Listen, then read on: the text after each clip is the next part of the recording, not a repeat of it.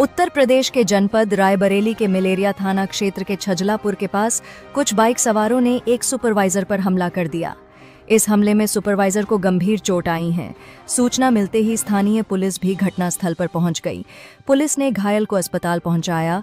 वहीं 11 लोगों पर गंभीर धाराओं में मुकदमा पंजीकृत किया गया है। रायबरेली से ब्यूरो नीलम यादव की रिपोर्ट। सर, मेरा नाम दुर्गेश राय है। मैं श्री कंपनी में सीवर लाइन का काम करता हूँ।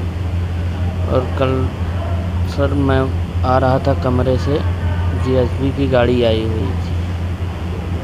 तो साथ में पाँच हज़ार रुपया गैस डिटेक्टर और मेरी चैन। ये सारी चीज़ें वो लोग मुझे मारे और मार पीट के छीन उनके लेके चले गए। कितने लोग थे? कहाँ से थे? सर पल्सर गाड़ी से थे दो लोग और दो लोग आगे खड़े थे। तो जब ये लोग पीछे से चिल्लाना चालू किए तो ये आगे वाले दौड़ के आगे आके सर रोक लिए।